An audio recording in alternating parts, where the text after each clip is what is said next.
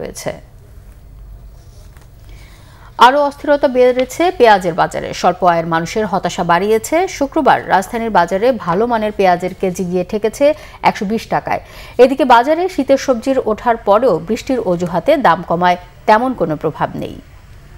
পেঁয়াজ কিনে বাসায় রেখে দেই, যখন মনে পড়ে চেহারা দেখে রসুন দিয়ে ভেজে খাই। পেঁয়াজ কেনার ক্ষমতা আমাদের নাই আসলে।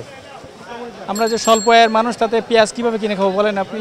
এক কেজি পেঁয়াজের দাম যদি একশো বিশ টাকা হয় তো মুরগিতে এক কেজির দাম একশো বিশ টাকার কম। চেয়ে মুরগি খাওয়াই ভালো। পেঁয়াজ নিয়ে এমন কথা যেন কোনোভাবেই শেষ হচ্ছে না। সরকারের পক্ষ থেকে আশ্বাস ও উদ্যোগের প্রভাব নেই বাজারে। উল্টো প্রতি সপ্তাহে যেন অতিক্রম করছে আগের দামকে।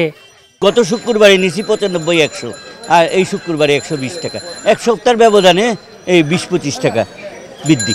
একশো বিশ টাকা আসলে এটা আমার লাইফেও দেখি নাই। তো যেটা হওয়া উচিত গভর্নমেন্টের একটা ভালো পদক্ষেপ নেওয়া উচিত। রাত পোহাইলেই বাড়ে রাত পোহাইলেই বাড়ে। আমরা আরও তো দেয় তো মালই কিনতে পারি না যে পরিস্থিতি আজকে কিন্তু খালি আইসা পড়ছে। পেঁয়াজ কিনতে সবচেয়ে সমস্যায় পড়েছেন নিম্ন আয়ের মানুষেরা। আমরা তো নিম্ন আয়ের মানুষ আমরা তো কিনতে পারি না আমাদের হাতের নাগালে বাইরে গেছে। এই পেঁয়াজের দাম কমে না সরকার দেখে না।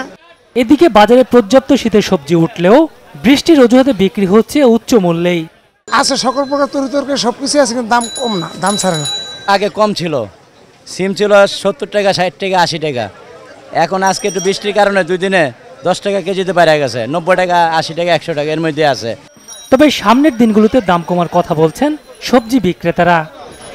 জি এম আহসান বাংলা ভীষণ ঢাকা।